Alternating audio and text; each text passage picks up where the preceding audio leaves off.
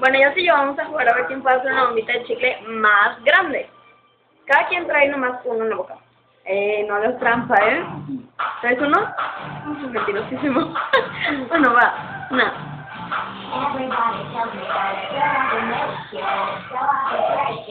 No es posible que yo con un chicle salga eso y todo eso ya. No es justo.